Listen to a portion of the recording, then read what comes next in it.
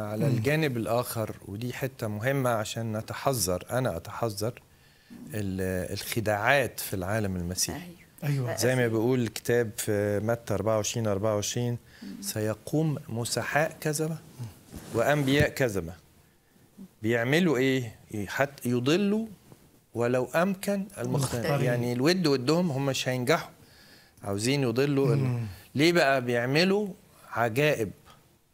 وعظائم وآيات يعني بقى عمل المعجزات ليس دليلا على صحة مم. هذا النبي الحق. أو صحة هذا المعلم مم. أنا محتاج أميز.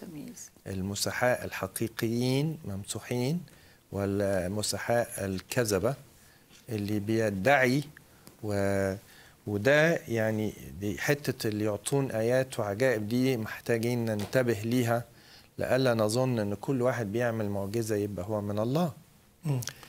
كمان يعني تيمساوس الثانية أربعة يقول سيكون وقت يجمعون لهم معلمين مستحكة مسامعهم يعني الناس هتدور على ناس على المعلمين يكونوا بقى يد...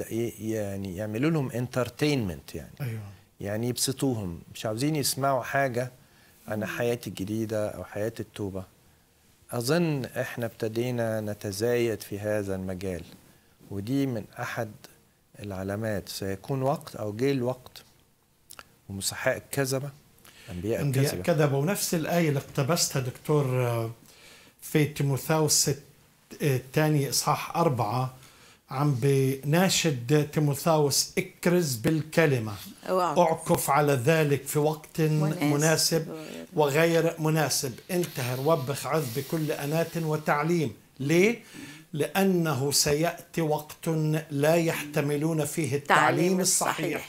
بل حسب شهواتهم الخاصة يجمعون لهم لا. معلمين مستحكة مسامعهم فيصرفون مسامعهم عن الحق وينحرفون إلى الخرافات.